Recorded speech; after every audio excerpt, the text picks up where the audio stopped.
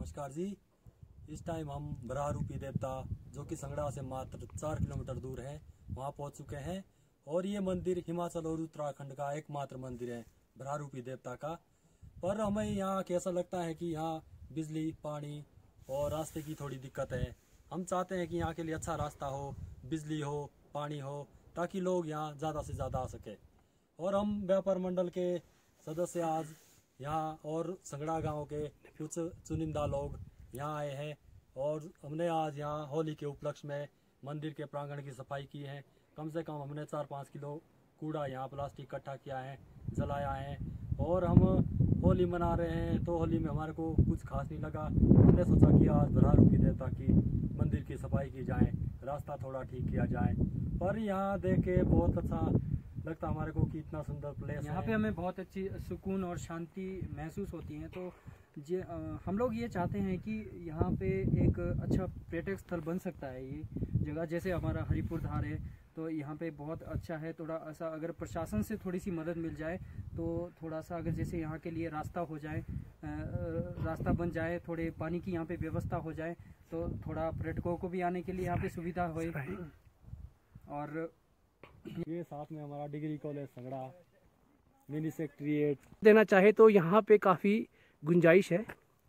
लोग दूर दूर से इन पहाड़ियों को देखने आते हैं। अगर व्यवस्था की जाए, थोड़ी अच्छी सड़कें बनाई जाए, थोड़ी रास्ता यहाँ पे अगर प्रॉपरली बना दिया जाए, और यहाँ पे थोड़ी ठहरने की व्यवस्था हो, और बिजली पानी की व्यवस्था हो तो काफ़ी अच्छा यहाँ पे पर्यटन को बढ़ावा दिया जा सकता है।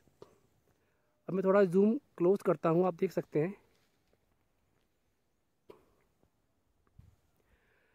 ये हमारे नवयुवक हैं, जिन्होंने आज यहाँ पे सफ़ाई की है। ये सभी बैठे हुए हैं, यहाँ पे आज पिकनिक मनाने आए थे।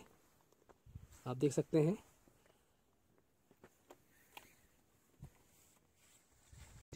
तो आज यहाँ पे आके सभी को बहुत ही सुकून मिला है, शांत वातावरण है, और ये नवयुवक हैं सभी यहाँ पे। आप देख सकते हैं, जिन्होंने आज यहाँ पे ये स्वच्छता अभियान को चलाया है। यहाँ पे लोग आते हैं, घूमते हैं। हम आशा करेंगे कि सरकार तक ये हमारी आवाज़ जाए, क्योंकि ये अगर इस स्थल को पर्यटन के रूप में बढ़ावा दिया जाता है तो इससे क्षेत्र का भी विकास होता है और सरकार को भी फ़ायदा होता है।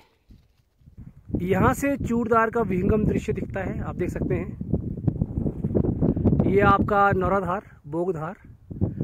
सामने को यहाँ से सरहा दिखती है। सरहा वाला एरिया है। और अगर मैं आपको वापस ले जाता हूँ, ये मैंने आपको पहले पर्वत की चोटियाँ दिखाई थी। हिमालय पर्वत है, इधर देख सकते हैं आप, सामने दिख रहा है।